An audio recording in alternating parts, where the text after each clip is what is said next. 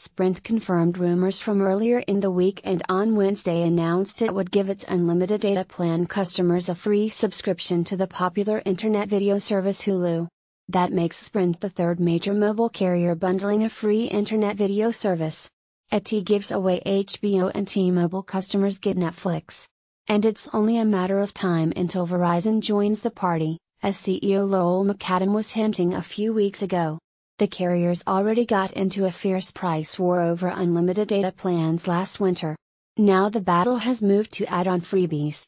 An HBO Now subscription usually costs $15 a month, the Netflix standard HD plan costs $10, and Hulu's limited ad plan is $8. Why have the wireless carriers become so eager to pick up customers' video bills?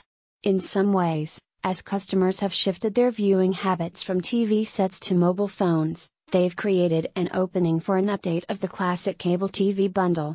Bundling is a common strategy in markets where customers can easily switch among competitors. By combining multiple services on one bill, often with a discount, a customer may be more likely to stick with the provider than defect, lowering the provider's annual churn rate.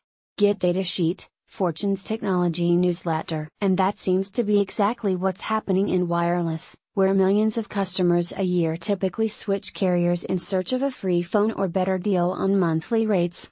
AT&T CEO Randall Stephenson explained a few months ago why his company was giving away HBO and deeply discounting its DirecTV Now service for wireless customers. The whole point of this is multi product households churn dramatically lower than single product households, he said. AT&T got the party started back in April, giving free HBO to customers on its higher end unlimited plan, then expanding the offer to customers on its lower priced unlimited plan in September, just after T Mobile unveiled its free Netflix deal. While an HBO Now subscription is the most valuable among the freebie offers, AT&T is also on the cusp of acquiring HBO's parent company Time Warner.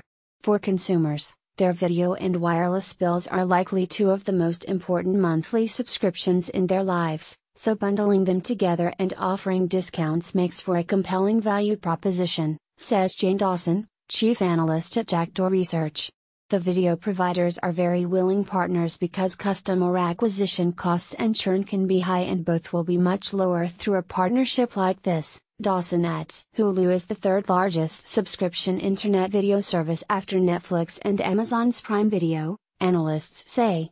It is owned by major TV producers Disney, 21st Century Fox, Comcast, and Time Warner.